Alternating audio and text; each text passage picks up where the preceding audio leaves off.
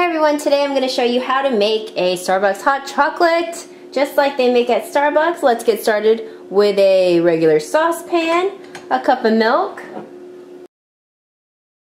the temperature on medium heat. We just want it at a very low boil. I've got my whisk.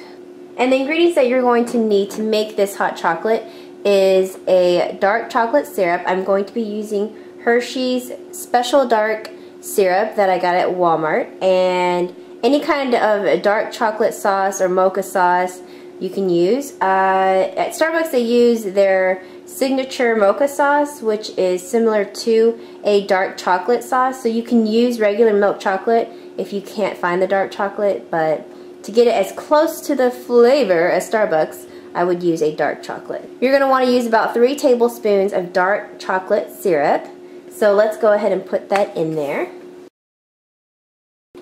And then we're just going to whisk this. When you see it come to a slow boil like this, it's ready. And you don't want it to overflow. So you definitely want to watch that. And if it does happen to try to overflow, just lift the saucepan and take it off the heat. Okay, now we're ready to make the drink. The next thing that you're going to want to add is 3 teaspoons of vanilla syrup. And I'm just using the Starbucks vanilla syrup, but any other syrup will work.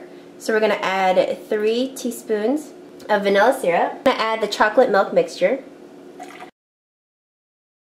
Add your marshmallows.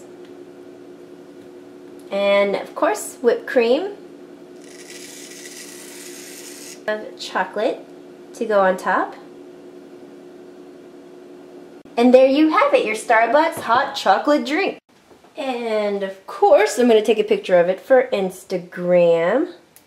And if you guys aren't following me on Instagram, definitely check it out. It's Pink Mac Princess. I love Instagramming a bunch of Starbucks pictures and all that good stuff.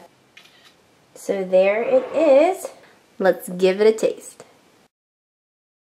delicious. If you guys try this recipe out, definitely let me know. Send me a tweet on Twitter or you can do hashtag Starbucks Princess. So if you guys have any other questions, comments, or concerns, leave them down below and then we'll get back to them as soon as I can. See you guys next time. Bye.